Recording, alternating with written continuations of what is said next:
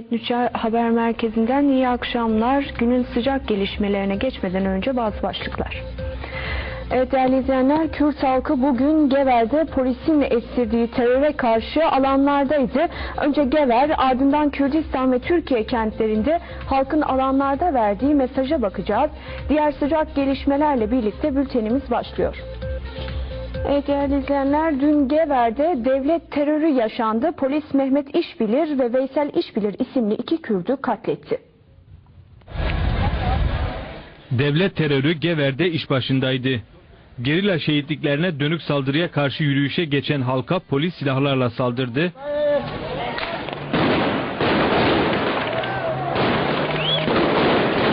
Ve Mehmet Reşit İşbilir ile Veysel İşbilir'i katletti. Halkın katliamlara öfkesi büyüktü. Polis ise cenazeleri kaçırarak Van'a götürdü.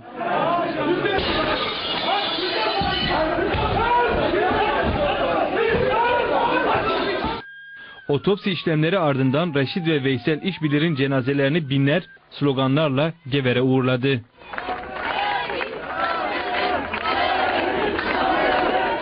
Kepenklerin açılmadığı Cölemerk ve ilçelerinden binlerce kişi Gever'e akın etti. Gever'de ise on binler cenazeleri karşılamak için toplandı.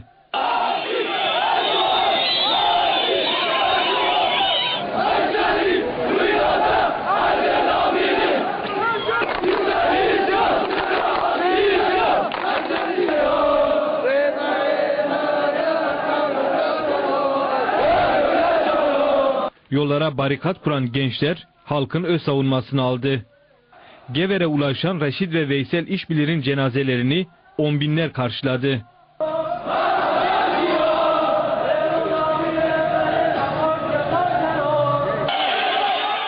On binlerin öfkesi sel oldu aktı. Tam da bu anda polis yine işe koyuldu. On binlerin evlatlarını sahiplenişi karşısında saldırıya geçti. Saldırıya halk öz savunmayla karşılık verdi. Polisin geri çekilmesinin ardından halk tekrar cenazeleri Bajergi mezarlığında toprağa vermek için yürüyüşe geçti. Cenaze töreninin ardından ise polisler tekrar halka saldırdı. Gaz bombası, tazikli su ve plastik merminin kullanıldığı saldırıda polise ait bir zırhlı araç mezarlıktan çıkmaya çalışan kitlenin içine daldı. Birçok kişinin ezilme tehlikesi geçirdiği saldırıyı gerçekleştiren araçtan etrafa rastgele ateş açıldı. Saldırı sonrası ilçe geneline yayılan çatışmalar devam ediyor. Evet Gever'de dün yaşanan katliam ardından bugün ilçede Serhıl'dan vardı. On binler evlatlarını uğurlarken AKP devletini uyardı. Ee, şimdi son gelişmeleri almak üzere gazeteci arkadaşımız Sami Yılmaz'a bağlanıyoruz. Sami merhaba. Merhaba, iyi yayınlar. E, Teşekkürler Sami. Çatışmalar devam ediyor bilgisi elimize ulaştı. Gever'deki son gelişmeler neler? Ee, evet, öncelikle şunu söylemekte yarar var. Çatışmalar şu an e, şu an itibariyle yok. E, çatışmalar durdu. E, ancak çarşı merkezinde gençlerin kurmuş olduğu barikatlar yerinde duruyor. Birçok noktada gençler e, sokak başlarını tutmuş durumda. E, polisler de zırhlı araçlarıyla beraber e, Eczane sokaklarında konumlanmış durumdalar. E, bu şekilde şu anda durgun e, e, durgun bir e, şekildedir. E, güne dönecek olursa e, siz de belirttiğiniz gibi on binlerce insan bugün Reşit ve Veysel işbirliği toprağa vermek için adeta sel oldu yüksekoya attı. E, Tekke lideri Abdullah Öcalan'ın posterleri, işbirliğlerin posterleri, yine PKK, KCK bayrakları ve yürüyüşe geçen kitle e, yol geçtiği süresince sürekli balkonlardan mez- cenazelerin üzerine çiftler atıldı. Yine e, cenazede alkış hazırlıklar çekti. E, Birçok evin balkonlarında yine PKK ve sarı, kırmızı e, sarı kırmızı renkte e, şeyler açıldı, bezler açıldı. E, yaklaşık 2 kilometre, 4 kilometrelik yürüyüş sırasında e, annelerin e, beyaz tülden ba- bağladıkları görüldü. Mezarlığa ulaşıldığı sırada e, mezarlığın karşısında bulunan özel harekete ait karakola yönelik taşlı saldırı yine söz konusuydu. Gençler e, taşlarla e, e, özel harekete saldırırken diğer tarafta e, saldırıyı önlemek amacıyla sivil toplum örgütleri orada bir kordon oluşturdu. E, buradaki gerginlik kısa süreli oldu. Daha sonra mezarlıkta e, kardeşler defnedildi. E, burada özellikle şunu belirtmekte Veysel için iki çocuk babası demiştik. Biri iki yaşında, biri de bir beş yaşında. Ayrıca Veysel'in eşi e, bir e, üçüncü bebek beklediğini de bugün öğrenmiş olduk. E, cenazede özellikle Veysel'in kız kardeşi Heli'nin e, mezara kapanması çok duygusal anlar yaşattı.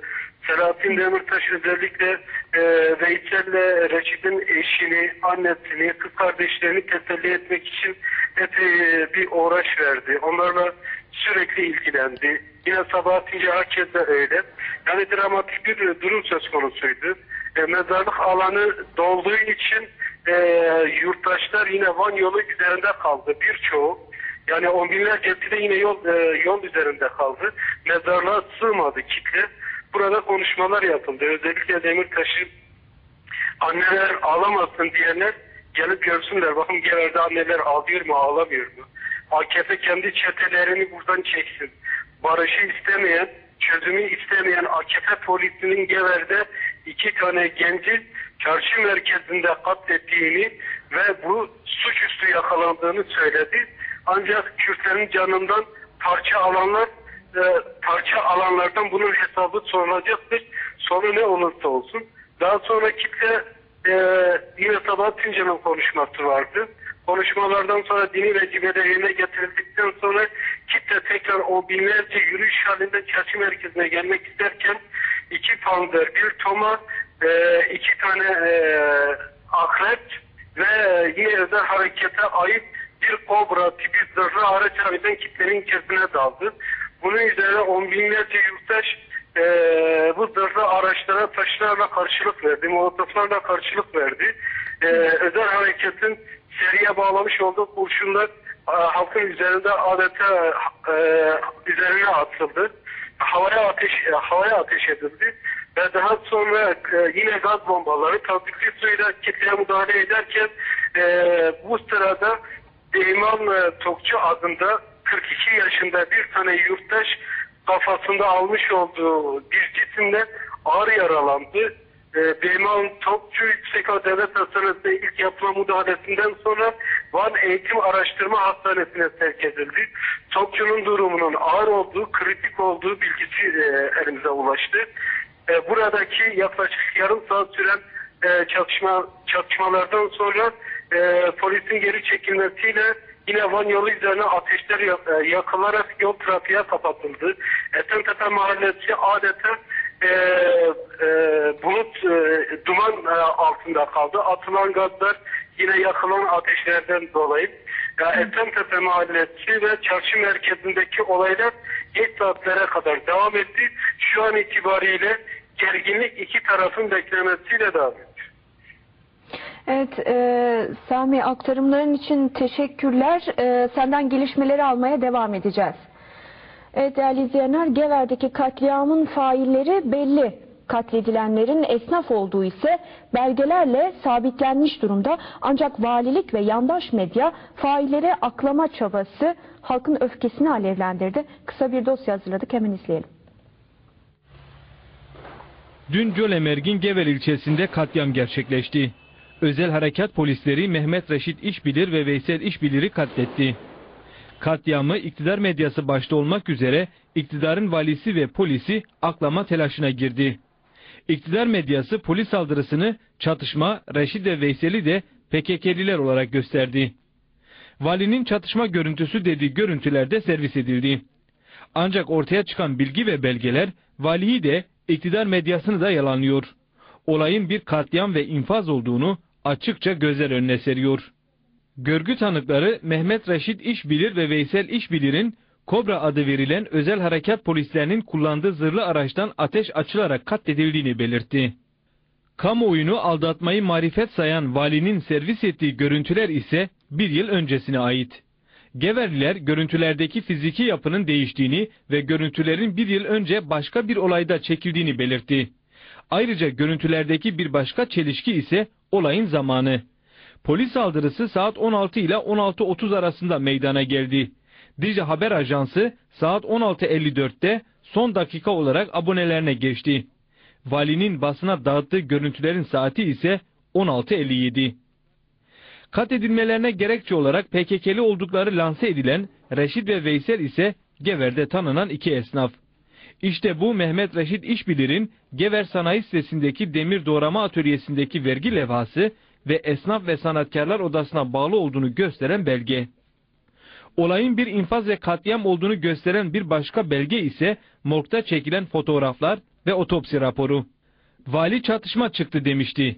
Ancak Reşit ve Veysel'in vücudunda çatışma izi yok. Reşit'in göğsünde kalp hizasında ve sol elinde, Veysel'in ise alnında ve boynundan vurulduğu görülüyor. Rapora göre Mehmet Reşit İşbilir 6 kurşunla, Veysel İşbilir ise 2 kurşunla katledildi. Gever Esnaf ve Sanatkarlar Odası Başkanı İrfan Sarı ise katledilen iki üyemizin üzerinde ne buldunuz? Silah mı buldunuz? Polise mukavemet edecek herhangi bir şey mi buldunuz? Bu insanlar evli barklı insanlar, atılan kurşunlar demokratik hakları savunan esnafın duyarlı duruşuna karşıdır diye konuştu. İşbirliğinin iş arkadaşı Mehmet Aksın ise Reşit Demir doğrama atölyesi olan Gever'de tanınan bir esnaf. Veysel ise müşterisi olduğum oto tamircisiydi diyor ve katliama tepki gösteriyor. Reşit İşbilir'in çırağı diğer İşbilir ise bugün ustasıyla beraber dükkana malzeme taşıdıklarını söyleyerek gözleri yaşlı bir şekilde dükkanı kilitledi. Reşit İşbilir evli ve dört çocuk babası, Veysel İşbilir ise evli ve iki çocuk babasıydı.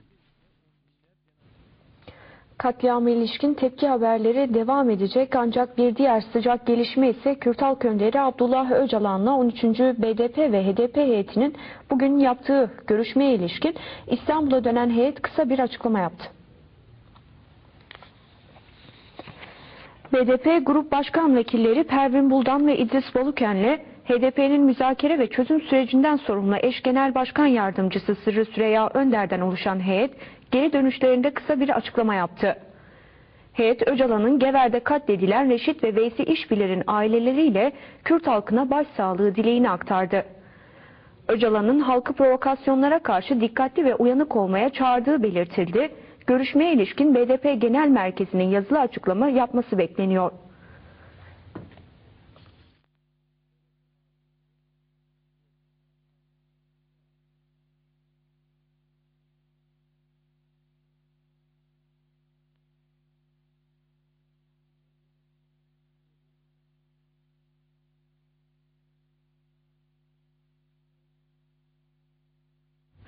Evet İmralı'ya giden heyette yer alan Sırrı Süreyya Önder telefon hattımızda. Sayın Önder iyi akşamlar.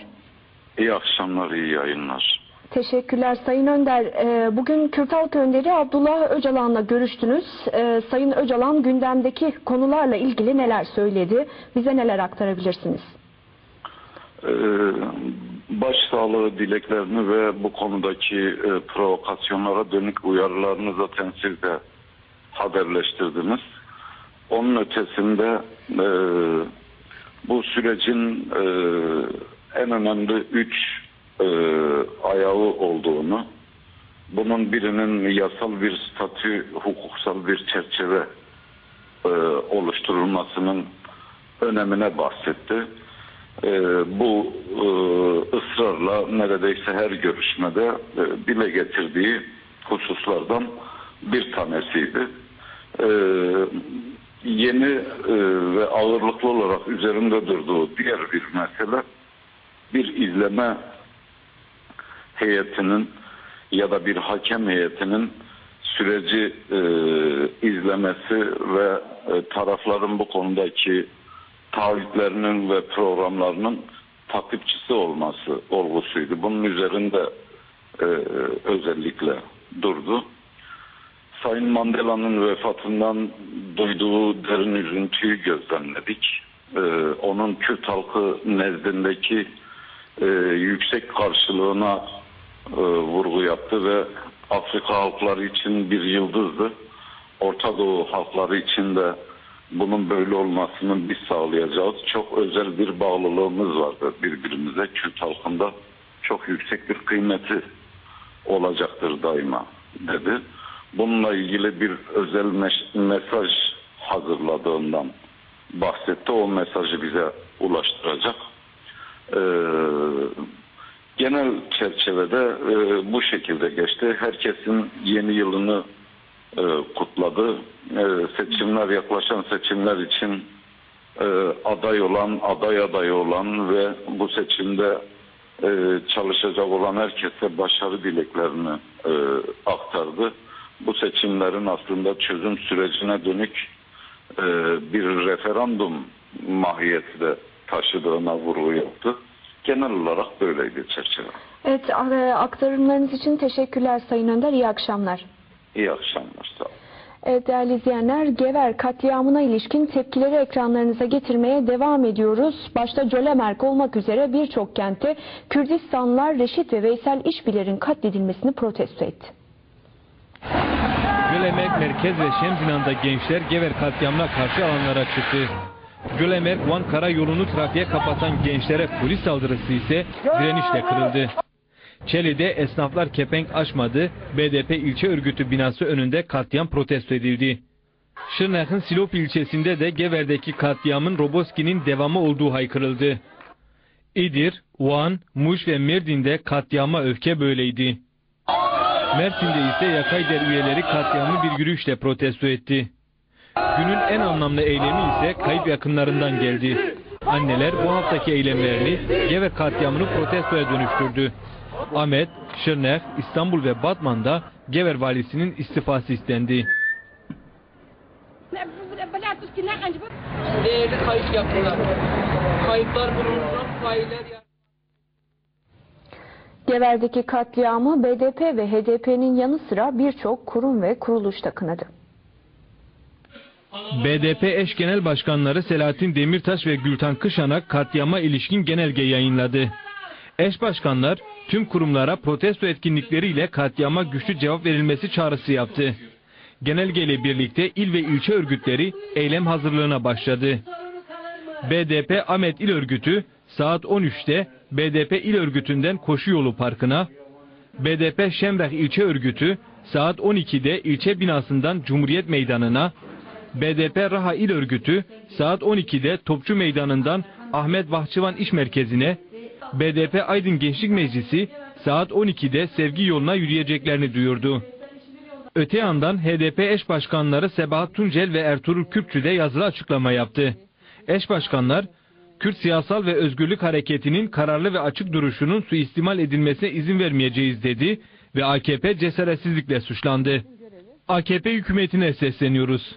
İnsanların kutsal saydığı mezarlıklara yönelik saldırıların durdurulması için gereken önlemleri derhal alın. Halka kurşun sıkanların derhal yargılanmaları ve ceza almaları için gerekli adımları atın. Ezilenlerin Sosyalist Partisi ESP ise polislerin açığa çıkarılmasını ve cezalandırılmasını istedi. Çalıştayını gerçekleştiren Van Barış Meclisi katliamı barış umutlarını yok etme girişimi olarak tanımladı. KCK Yürütme Konseyi Eş Başkanlığı Gever'deki katliama ilişkin yazılı açıklamada bulundu. Açıklamada şehit düşen Reşit ve Veysel İşbilir'in ailelerine başsağlığı dilendi ve AKP hükümeti döneminde katledilen yüzlerce sivil Kürt'e dikkat çekildi. Eş başkanlık AKP hükümeti döneminde sivil öldürme normalleşmiştir. AKP hükümeti döneminde yüzlerce sivili katledenler ellerini kollarını sallayarak dolaşmaktadır. 18 aylık Mehmet Uytun'u katleden polislerin bile yargılanması bizzat AKP ve cemaat savcıları tarafından engellenmiştir. Roboski katliamının normalleştiği bir ülkede Gever'deki ölümler de normalleşir ve devam eder. AKP hükümeti döneminde yaşanan tüm cinayetlerin faillerinin polis ve askerler olduğunu belirten eş başkanlık, polisin rastgele öldürmesi, savcıların rastgele tutuklaması Türkiye'nin esas hukuku haline gelmiştir dedi. 1990'lı yıllarla bugünkü bugünü karşılaştıran eş başkanlık, devlet biz öldürdük ama hiçbir şey yapamazsınız diyerek 1990'lı yıllardan daha kötü bir yaklaşım içindedir. Bundan daha tehlikeli devlet anlayışı olamaz dedi. Kürt Halk Önderi'nin başlattığı sürece değinilen açıklamada AKP'nin iki yüzlü politika izlediği kaydedildi. ve Kürt halkıyla demokrasi güçlerine saldıranlara karşı demokratik mücadeleyi yükseltme çağrısı yapıldı.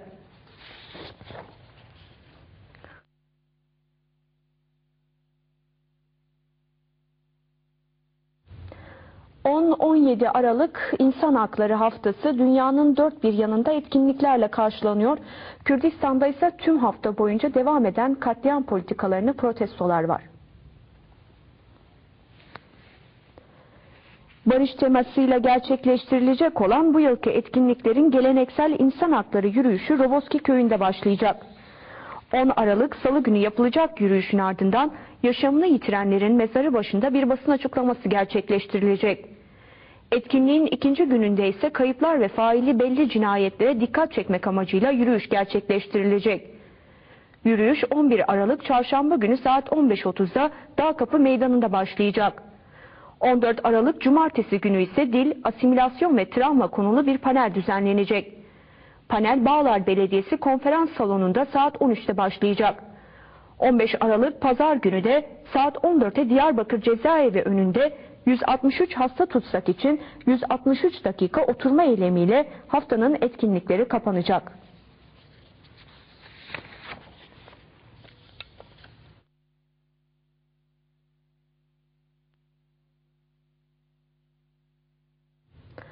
...30 Mart 2014 yerel seçimlerine sadece 3,5 ay kaldı. Çalışmalarını hızlandıran Halkların Demokratik Partisi HDP, Kocatepe Kültür Merkezi'nde İleş Başkanları toplantısı düzenledi. HDP eş genel başkan yardımcısı Saruhan Oruç partili, partililere hitap etti. Öncelikle Gever'deki polis katliamını kınayan Oruç katliama sessiz kalmayacaklarını ifade etti. Oruç HDP olarak 59 ilde seçimlere gireceklerini belirtti. Sosyalist Demokrasi Partisi SDP seçim deklarasyonunu yayınladı. SDP deklarasyonda seçimlere HDP saflarında katılacaklarını duyurdu. SDP geziden geliyoruz, birleşerek yürüyoruz, iktidara yürüyoruz başlıklı açıklamasında tüm halkları HDP saflarında birleşmeye çağırdı. Bu seçimlerde HDP oluşturmayı amaçlayan partimiz tüm halkımızı seçimlerde HDP saflarına davet etmektedir dedi.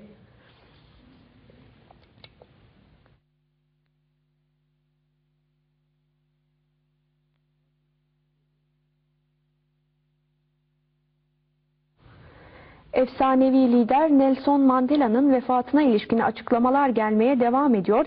KCK Yürütme Konseyi eş başkanlığıyla PKK Yürütme Komitesi de Mandela'nın vefatına ilişkin yazılı açıklamada bulundu. Eşban, eşbaşkanlık, büyük özgürlük ve demokrasi savaşçısı ve Kürt dostu Nelson Mandela'nın ölümünü üzüntüyle öğrenmiş bulunuyoruz dedi. Güney Afrika halkı başta olmak üzere ırkçılığa ve sömürgeciliğe karşı mücadele veren tüm halklara ve ailesine başsağlığı dileğinde bulundu. Eş başkanlık açıklamasında Nelson Mandela'yı unutmayacaklarını ve mücadelesini yeryüzünü tümden özgürleştirinceye kadar sürdüreceklerini kaydetti. Mandela'nın sadece Güney Afrika için mücadele etmediğine dikkat çeken eş başkanlık, onun mücadelesi tüm dünya için özgürlük ve demokrasi mücadelesi olmuştur dedi ve şu vurgular yapıldı. Büyük özgürlük savaşçısı Nelson Mandela'nın özgür ve demokratik yaşam özlemini İmralı cezaevinde daha yükseklerde dalga, dalgalandıran Önder Apo'nun büyük mücadelesi ve yarattığı değerler Önder Apo'yu Kürt halkıyla birlikte özgürleştirecektir. Mandela'ya ilişkin bir mesajda Kürdistan İşçi Partisi PKK Yürütme Komitesi'nden geldi. Güney Afrika halkı yetiştirdiği en değerli evladını, insanlık yetiştirdiği en büyük özgürlük ve demokrasi savaşçılarından birini, Kürt halkı da çok değerli bir dostunu kaybetmiştir denildi. Mandela'nın temsil ettiği gerçek radikal demokrasi ilkelerinin Kürdistan'da derinleştirilerek anısının yaşatılacağı kaydedildi.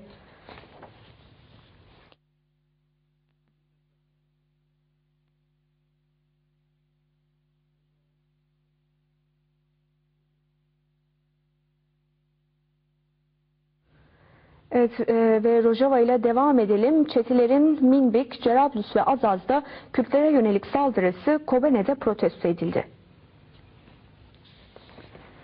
Kobene'de halk Azadi meydanında toplandı. Çete saldırına, saldırılarının kınandığı eylemde Demokratik Birlik Partisi, Suriye Kürt Demokrat Partisi, Suriye Kürt Sol Partisi, Yekitiye Star'la farklı toplum kesimlerinin temsilcileri katıldı. Yapılan konuşmalarda ortak yönetimi güçlendirme ve direniş mücadelesini yükseltme mesajı verildi. Serekaniye'de SES Asayiş üyesi Merven İsa için cenaze töreni vardı. İsa'nın naaşı bugün Serekaniye'de Roş Hastanesi'nden binlerce kişi tarafından alındı ve Berkevire köyündeki Şehit Rüstem Cüdi mezarlığında tören eşliğinde defnedildi.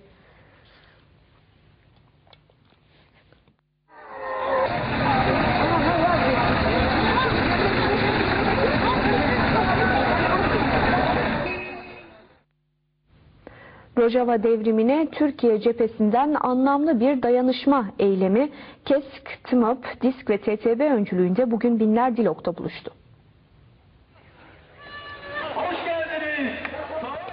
Savaşa karşı barış ve kardeşlik için yürüyoruz şiarıyla demokrasi meydanında miting gerçekleştirildi. Sabah saatlerinde mitinge akan on binlerin yanında BDP, HDP, ÖDP, SP, EMEP, İHAD, YSGP ve Sosyalist Yeniden Kuruluş Partisi temsilcilerinin yanı sıra KES Genel Başkanı Lami Özgen, DİSK Genel Başkanı Kani Beko, TTB Merkez Konsey Üyesi Doktor Osman Öztürk, KES Kadın Genel Sekreteri Canan Çağlayan ve TMÖP ile TTB'nin MYK üyeleri de vardı. Kırkayak Parkı'nda slogan ve pankartlarla yürüyen 10 binlere önce KES Dilok Şubeler Platformu dönem sözcüsü Ömer Faruk Koç seslendi. Ve Suriye'nin geleceği için hiçbir baskı ve yönlendirme altında kalmadan Suriye'de yaşayan halklar karar vermelidir dedi. Ardından konuşan DİSK Genel Başkanı Kani Beko, AKP hükümeti dışarıda halklara savaş açarken içeride de işçilerin kıdem tazminatına göz dikti derken KES Genel Başkanı Lami Özgen ise AKP'nin politikalarına tepki göstererek utanç duvarı örü- örülerek Rojava halkının nefessiz bırakılmak istendiğini vurguladı. TTB Merkez Konsey üyesi Osman Öztürk ise Gever katliamına tepki gösterdi.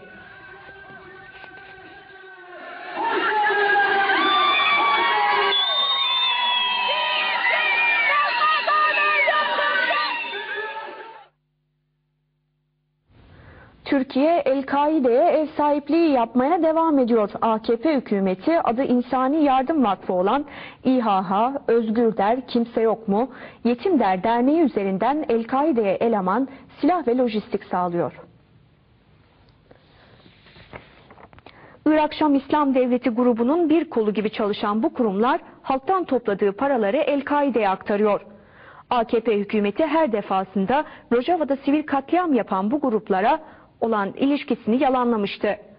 İHH Dilok temsilciliğinin El-Kaide bağlantılı çetelerin karargahı gibi çalıştığı ortaya çıkan yeni bir fotoğrafla yeniden kanıtlandı. Burası Dilok. IŞİD için kurulan özel hastanede yaralılar tedavi görüyor. Fotoğraftaki kişiler Irak Şam İslam Devleti örgütünün yöneticileri. Soldaki kişi İHH Dilok sorumlusu Sayit Gökdere. Elini tuttuğu sakallı şahıs Ebu Bera. Ayağı sarılı olan ise Ebu Faruk. İHH Dilok sorumlusu Sayit Göktere'nin Irak Şam İslam Devleti örgütü mensuplarıyla çektirdiği fotoğraflar daha önce basına yansımıştı. Türk Başbakanı Erdoğan ve Dışişleri Bakanı Ahmet Davutoğlu El-Kaide'ye destek vermediklerini açıklamışlardı. Ancak bu fotoğraflar Erdoğan ve Davutoğlu'nu yalanlıyor.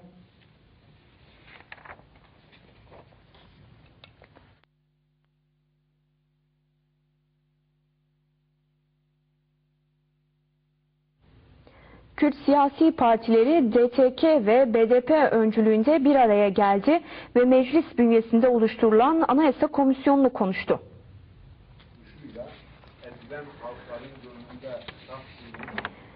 Güneydoğu Gazeteciler Cemiyeti'ndeki toplantıya BDP eş genel başkan yardımcıları, DTK daimi meclis üyesi avukat Cabbar Leygar'a, Azadi İnisiyatifi Koordinatörü Adem, Adem Özcaner, BDKD Genel Başkanı İda, İmam Taşçıer, KADEP İl Başkanı Civan Roj Ceyhan, Dicle Fırat Diyalog Grubu'yla BDP, ÖSP, Öze Dönüş Platformu ve Nuhi Bar'la STK temsilcileri katıldı. Toplantıda konuşan DTK Daim, Daimi Meclis Üyesi Cabbar Leygar'a dün Gever'de ger- gerçekleşen polis katliamını kınadı. Partiler adına açıklamayı yapan DDKD Genel Başkanı İmam Taşçıer, Kürtlerin ortak talebine vurgu yaptı. Kürt kimliğinin tanınması, Kürt ve Kürdistan ismiyle örgütlenmenin önündeki engellerin kaldırılması, Kürtçenin resmi dil olarak kabul edilmesi ve eğitim hakkının kabul edilmesi, Kürtlerin statü taleplerinin anayasal güvenceye alınması talebini sıralayan Taşçıer hükümeti uyardı.